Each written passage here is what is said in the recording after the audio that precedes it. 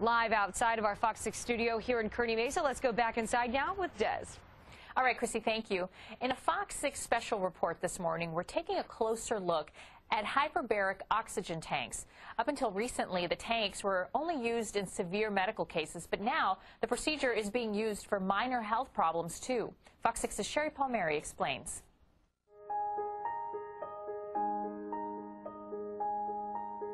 At just five hours old, Jennifer Cullen almost choked to death. She survived but suffered a brain injury that affected her behavior, her balance, and her ability to learn. Jennifer, show me your nose. It was very heartbreaking, very heartbreaking. But we, we never gave up hope. Jennifer's young life became consumed with tutoring, speech therapy, and physical therapy. What's missing?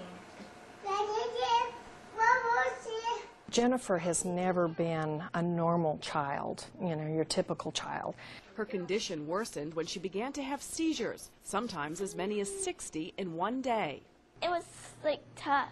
It seemed like the more intense therapy, you know, we would we would make improvement. But then sometimes we'd also, with the seizures and stuff, you might see a little backsliding. Then Jennifer's family heard about hyperbarics. Initially, hyperbaric oxygen chambers were used to help divers who made mistakes while underwater. But now these chambers are used to help treat medical conditions. Essentially, hyperbarics is a way to pump more oxygen into the body to speed up the healing process. How are you feeling? Good. The repair cells and also the get better cells are all oxygen energized. They need 24 times more oxygen to make them work quickly and effectively. And that's just every disease there is.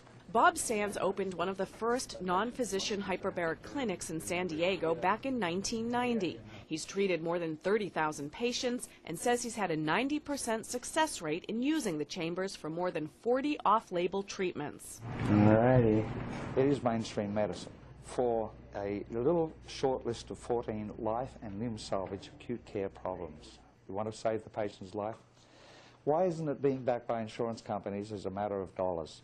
At $200 per 90-minute session, Sands charges a tenth of what hospitals charge. But some doctors argue hyperbaric chambers are not a cure-all we don't have a lot of comparative data that says, okay, if we don't do anything versus putting this person in a hyperbaric chamber, who's going to do better and why? Because the differences between people are such that you don't know whether it's the person that's doing better on their own or whether it's the chamber making them better. there, Jennifer. With their neurologist's blessings, Jennifer's family decided to give hyperbarics a try. Her mother says within four months, they saw dramatic results. You know, the fact that it stopped her seizures, the fact that her balance issues, it was like uh, for her all of a sudden the light bulb turned on. Her ability to learn things improved, her language improved. Jennifer says her entire life improved. I get to go to school, make friends, go ice skating. Nowadays, she not only skates, but competes. A far cry from the little girl whose balance issues once prevented her from even making it up the stairs. In Golden Hills, Sherry Palmieri, Fox 6 News. And this morning, Julie Payne joins us. She too has been treated with hyperbaric oxygen, uh, and she is very happy to be here, I know. How are you? I'm doing well, thank you. Tell everybody um, a little bit about your story. I know you had gone on a trip, and when you returned, you noticed something wasn't right. Yes, I developed flu-like symptoms, um, just your normal flu-like symptoms, and then it eventually evolved into pelvic and uh, lumbar spine pain. Uh, then just every day there would be some other different type of, you know, problem that I would experience. I went to the emergency room. I was hospitalized for six days and released without a diagnosis. Um, some of my symptoms were tremors, uh, nervous tics in the face, um, not being able to walk. I collapsed in my home. Uh, so I had five different specialists um, overseeing my case. And you were diagnosed, or misdiagnosed, I should say, several different times. Yes. Right? With all kinds of different possibilities. Nothing was really right. That's correct. So how did you finally find someone that pinpointed what your problem was, and we'll tell everybody what that is in just a second. Sure. Um, basically, I just did a lot of research on the internet, um, trying to find, you know, different symptom relations to what I was going through. And uh, after doing extensive research, I found some answers, and then just people saying, "Oh, I know somebody that has." Same Took a lot of research on your part, and Yes. what did this doctor finally say was the problem? Lyme disease. And Lyme disease, you, I know you get from ticks from deer, Yes. right? Right. Okay. Deer tick. Uh-huh. So you had gone on this trip, and that's what happened. All- How long from the time that you started having symptoms to the time that you discovered what the problem was? How many days or weeks, months? Uh, actually, it was basically two years. Wow, Yes. two years. Two years of searching. So you finally figured this out, and what was the treatment like for you what, before you discovered this hyperbaric oxygen? I did antibiotic therapy, um, including intravenous IV PICC line in my arm that went, uh, pumped Rocephin antibiotics directly through my body. It had to take a toll on your body Yes, and on your mind, I'm sure. So finally, how did you decide, or who who talked to you about hyperbaric oxygen? Uh, again, it was research, and um, a friend of mine said, I know someone that has done hyperbarics for Lyme disease, and she's doing extremely well. Would you like to speak with her? So she gave me her number, and I contacted her. It was a very positive conversation, and so then I did a little more extensive research and decided to try it myself. And how long before, from the first time you tried it to you know, when you started to see results? How long?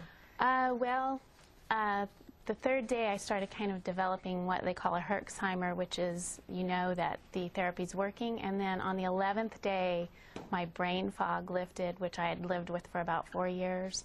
And it was incredible. I knew that I was getting well. I mean, colors looked more vibrant. Um, just life. I was singing and dancing and doing things I hadn't done in so long. So. Oh wow! So, what is is this the type of thing that when you discover that this is the the answer for your problem, is this something you have to live with now for the rest of your life? Always getting the hyperbaric therapy, or how does it work? Well, actually, there is not any um, information, scientific information out there to base um evidence that you can rid yourself of Lyme disease completely. But uh, through more research, I believe we will know that answer. There are some sig- significant tests that you can have. Um, there's a Bowen test that you can have done to measure, uh, you know, how the disease is in your body. And I know, and during uh, Sherry's piece there, she mentioned that oxygen sort of speeds up the healing process. And do you have? Did anyone explain to you how it works and why that is? Yes, basically right now we're breathing about 20% oxygen, and when you're under pressure, you're breathing in 100% oxygen, and it basically goes in and repairs red blood cells that carry oxygen to all the tissues and organs, um, and also uh, it allows the oxygen get past the blood-brain barrier, which antibiotics do not. Oh, wow. So you have actually learned a lot from doing your own research, and that's how you were able to find somebody to help you. I, I find that to be just wonderful that you took the initiative to do that. And we appreciate you coming in this morning. thank you very Julie much. Julie Payne, thank you very Thank much. Thank you very much. All right. If you'd like more information or if you'd like to see Sherry's story, go to fox6.com. Right now, let's get over to